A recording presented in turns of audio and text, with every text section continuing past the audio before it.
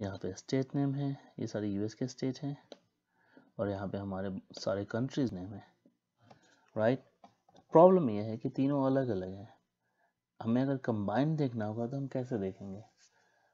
So to do that we need to use join this table right all this three table cities state and countries need to be joint right once you join that then only you can see दल all the columns right so join कैसे करोगे?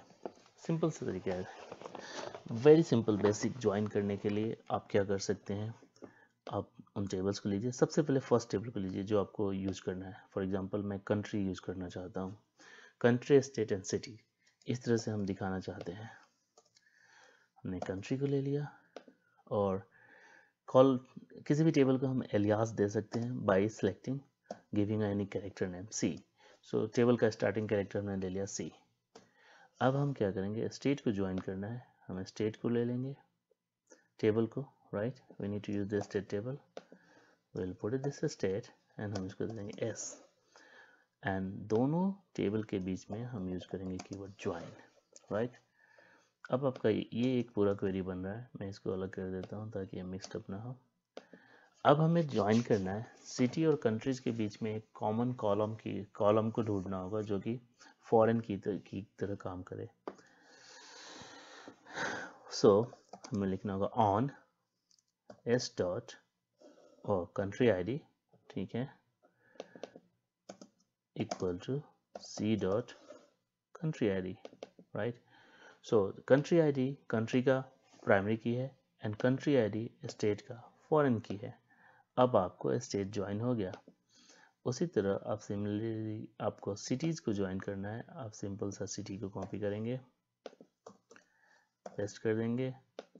इससे पहले आप join keyword use करेंगे और इसका भी कोई एक शॉर्ट नेम दे देंगे। तो चूँकि सी ऑलरेडी यूज़ हुआ तो हम इसको सी आई दे देंगे। On again C I dot city I uh, uh, not city id ci dot हमें स्टेट से ज्वाइन करना है इसलिए हमें स्टेट आईडी लेना होगा।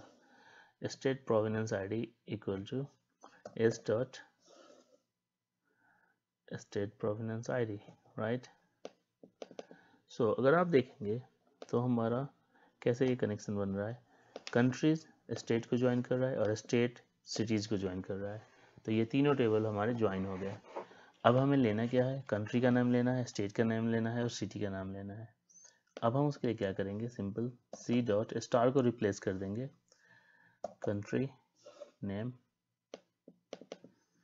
comma C dot अब स्टेट लेना है तो S dot state province name comma C I जो कि सिटी है dot city name and now आप इसको रन कर देंगे।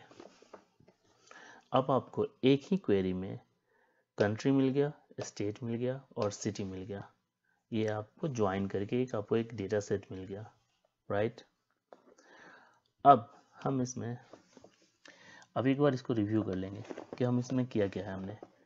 सबसे पहले हमने फ़र्स्ट टेबल लिया, उसको हमने एक एलियास नाम दिया, उर्फ़ कंट्रीज़ उर्फ़ सी राइट स्टेट उर्फ़ S and cities उर्फ़ C I something like that तो अब कंट्रीज़ जो है वो सी के नाम से जाना जाएगा स्टेट जो है वो एस के नाम से एंड सिटीज़ जो है वो सी आई के नाम से. कंट्रीज़ में स्टेट टेबल के अंदर कंट्री आईडी है जो फॉरेन की है और कंट्री आईडी कंट्री में प्राइमरी की है. सिटीज़ में सो so, तीनों टेबल के बीच में आपको कॉमन फॉरेन की को ढूंढना होगा और उसके बाद आप उनको join table name on primary key foreign key primary key foreign key आपका टेबल ज्वाइन हो गया राइट और उसके बाद सेलेक्ट में आपको यूज़ करना है, जो भी आपका कॉलम आपको डिस्प्ले करना है, और आपका क्वेरी रेडी हो जाएगा। अब हम यहाँ पे देख रहे हैं स्टेट नेम कंट्री नेम आ रहा है। स्टेट नेम हमारे ऑर्डर में नहीं है। एंड सिटी नेम हमारे ऑर्डर में नहीं है। अगर हम इनको प्रॉपर ऑर्डर करना है तो हम इसको यूज़ कर सकते हैं। Order by by state name, state provenance name, right? अब अगर हम इसको एग्जीक्यूट करेंगे तो हमारा स्टेट नेम अल्फ़ाबेटिकल ऑर्डर में सॉर्ट आउट हो जाएगा राइट बाय डिफ़ॉल्ट ये असेंडिंग होता है। अगर आप इसको अपोजिट ऑर्डर में करना है तो आप simply D E S C use करेंगे तो ये डिसेंडिंग हो जाएगा। सो so, आपका डब्ल्यू फ़र्स्ट आ गया एंड उसके बाद सिटी आ गया। आप ऑर्डर बाय में मल्टीपल को यूज़ कर सकते हैं like city C I dot city name and यहाँ पे भी हम एस डॉट कर देते हैं क्लियर होने के लिए कि किस टेबल से आ रहा है। A S C right so हर एक कॉलम को आप अलग ऑर्डर में सेट कर सकते हैं। ये आपका डिसेंडिंग हुआ, या आपका असेंडिंग हुआ। असेंडिंग डिफ़ॉल्ट होता है। अगर आप कुछ भी नहीं देंगे तो ये असेंडिंग हो जाएगा। राइट सो ए से चालू हुआ बिकॉज़ बाय डिफ़ॉल्ट असेंडिंग है। अगर आपको डिसेंडिंग करना होगा तो डी एस से लिखना होगा। अदरवाइज़ असेंडिंग करने के लिए आपको कुछ नहीं लिखना बस ऑर्डर बाई कॉलम नेम करेंगे। डिफ़ॉल्ट में वो असेंडिंग ऑर्डर में आ जाएगा। A and then Y okay so इस तरह से हम ऑर्डर बाई को कंट्रोल कर सकते हैं। एक और वे होता है ऑर्डर बाई को कंट्रोल करने का। यहाँ पे इसको सिर्फ़ में अगर किसी को कमेंट करना हो तो आप डबल डैश दे देंगे तो आपका वो क्वेरी कमेंट हो जाएगा। यानी कि एसक्यूएल सर्वर उसको रीड नहीं करेगा। ऑर्डर बाई दूसरी तरह से हम देते हैं based on the number of column position जो ऑर्डर करना है। जैसे पहला कॉलम हमारा कंट्री नेम है, दूसरा स्टेट है, तीसरा सिटी नेम है।